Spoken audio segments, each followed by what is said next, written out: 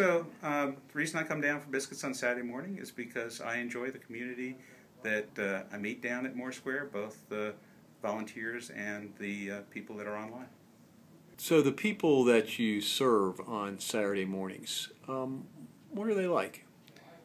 Most of them are uh, just regular people like you and me, except uh, more interesting. They have uh, pretty uh, wild stories to tell you and are very humorous folks.